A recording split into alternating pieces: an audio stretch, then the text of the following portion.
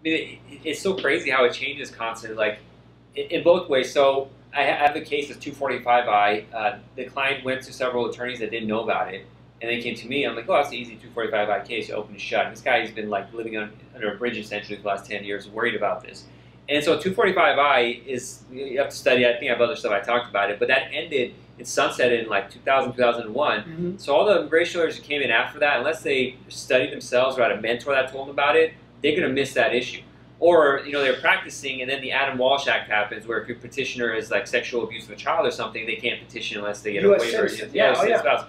So uh, so all of a sudden, like if you didn't keep up on the rules that this changed, or you know the asylum, what is that? Real ID Act changed some nuanced stuff, or uh, you know uh, for students, you know there's a lawsuit injunction that came, but the DS status um, doesn't cover you anymore. You go into unlawful presence. You don't know this stuff and how they're doing it, or right now they've gone for adjustment, they've gotten really picky about proving that if you're here on an F1 student visa, then to see even if you marry a U.S. citizen, you're adjusting. They want to show that you're in status going to school and, and it wasn't a fraudulent school. And you got to be up on this to make sure to check all the I-20s and have them with you, transcripts potentially, so they can show that you really went to school. Mhm. Even when it doesn't matter, they want to ask for that stuff. But it just changes every day, and so it's like you got to really be on top of it, and that takes a lot of time. You know, like Oh, there's always you got to spend the hours. There's no way around it. Uh, and, and you know, clients are that, that's kind of the value clients paying for. I'm not necessarily spending all the time sitting with you on your case, but I'm studying everything else in the meantime. So if something happens, I'll know what's going on. I'm going to the meetings. I talk to other people. Going to these AILA CBP meetings, AILA USCIS meetings to sit there for a couple hours. You know, I might be there for three hours and I'll learn nothing, but I have to do it every month because maybe one time I'll learn something different that's going to affect your case, and that's what you're paying for if you get a, a attorney that stays on top of it.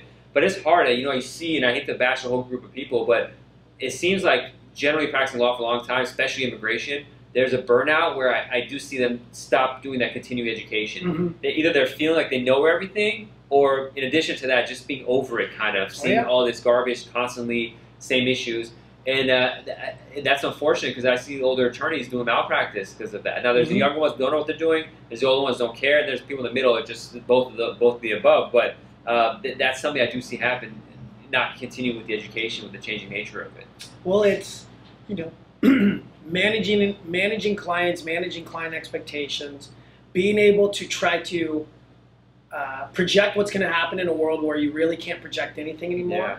I think that comes down to, as an attorney, you are their representative, you're their advocate. If you don't know it, then you shouldn't expect expect them to know it. Mhm. And so, vice versa, the the clients are saying, "Here's all this money to give us peace of mind that if something happens, you'll know about it, Yeah. and if you don't know about it, you'll know where to figure it out."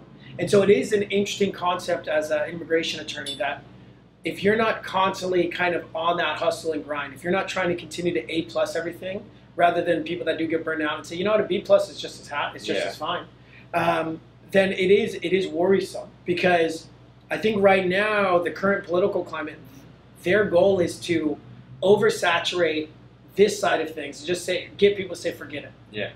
But if this is your way of life, if this is how you create a living, if this is how you're paying back your loans and trying to build a family and, and a life, well then you can't just forget it. Yeah. Additionally, I don't think you can leave immigration. It's too it's too exciting. It's too more. It's too meaningful.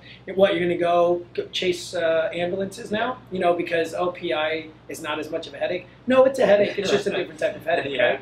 And so it's it's kind of a testament to practice management is not just about the law. It's about client management expectations. It's also about your own mental and psychological health. It's about keeping about being physically healthy. Because if you're grinding and one day your back goes out because you've been sitting too long, Yeah. your eyes go. I mean, that's something that you need to be considerate of.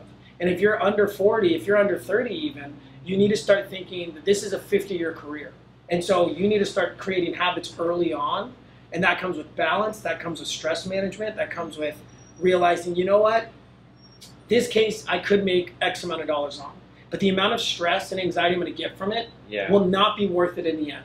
And you have to start evaluating that even when it's not your firm, even when it's not your money.